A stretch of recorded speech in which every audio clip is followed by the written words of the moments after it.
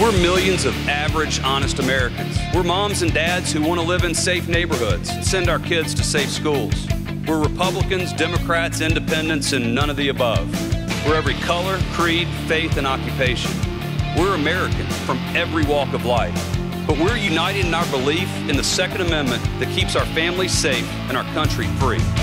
The NRA is fighting for vendors like myself, making sure we have a place of employment, places to employ other people, fighting for the rights of individuals to enjoy the freedoms that our forefathers enjoyed and that hopefully my kids will enjoy later on. It's a little hard sometimes for father and son to just get out and just hang out together. Yeah, I want him to understand guns aren't what you see on TV. I got grandkids. The country I grew up in is gone, and I want it back. In all of freedom's history, there has never been an organization quite like the National Rifle Association of America. No other people are so alert, so vigilant, so unafraid to take a stand and go out and fight for what's good and right. We, the people of the National Rifle Association, represent the very best of America's strength and of America's character.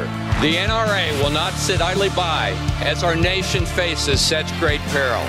No politician has the right to tell us that we don't have the right to protect ourselves. We will not be silent.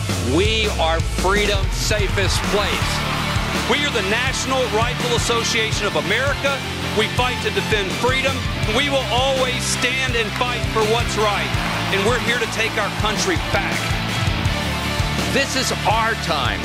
We must lead the way, and we must save our freedom. That mission starts right now. Join with us today. We need you. My name is Jim Brecken, and I am the